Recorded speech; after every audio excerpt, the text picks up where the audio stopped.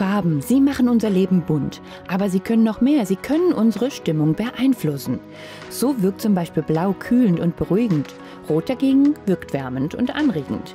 Wer Lust bekommt, seine eigenen vier Wände zu streichen, steht aber nicht nur vor der Wahl des passenden Farbtons, denn die Beschichtungen besitzen völlig verschiedene Eigenschaften. Noch vor knapp 30 Jahren wurden am häufigsten reine Dispersionen zum Streichen verwendet. Heute achtet der Verbraucher vermehrt auf natürlichere Inhaltsstoffe, die eher in Silikatfarben zu finden sind.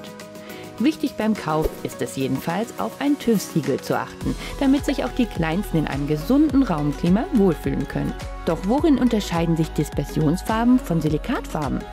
Dispersionen eignen sich für das Überstreichen von beispielsweise Tapeten oder Wänden, die bereits sehr viele unterschiedliche Anstriche erhalten haben. Sie können bereits beim ersten Anstrich sehr gut decken, das spart Zeit und viele Farbeimer.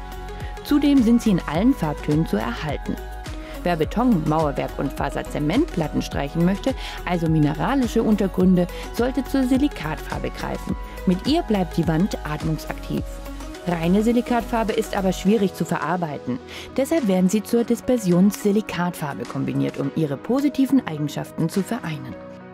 Ein vereinfachter Blick unter die Lupe einer Dispersion zeigt vor allem Wasser. Das sorgt für die Konsistenz. Dazu kommen viele rote Punkte, sie stehen für organische Bindemittel. Der Anteil liegt hier zwischen 8 und 15 Prozent.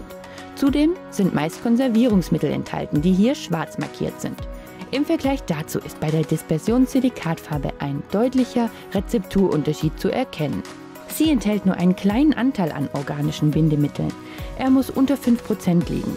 Deutlich höher der mineralische Anteil, die grünen Punkte hier. Sie machen die Farbe wasserdampfdurchlässig. Ist die Farbe also an der Wand, kann sie die Feuchtigkeit aufnehmen und nach außen transportieren. Durch den hohen pH-Wert der mineralischen Anteile kann sich also Schimmel nur schwer auf der Oberfläche ausbilden. Besonders in der Küche, in der viel Wasserdampf entsteht oder in feuchten Treppenhäusern ein Vorteil.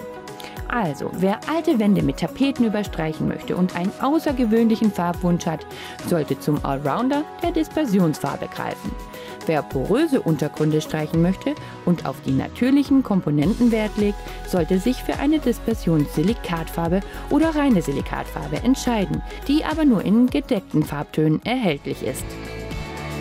Hey liebe User, wenn euch unser Beitrag gefallen hat, dann lasst uns ein Gefällt mir da und abonniert bitte unseren Kanal. Und wenn ihr Fragen oder Anregungen oder auch Vorschläge habt, dann einfach kräftig kommentieren.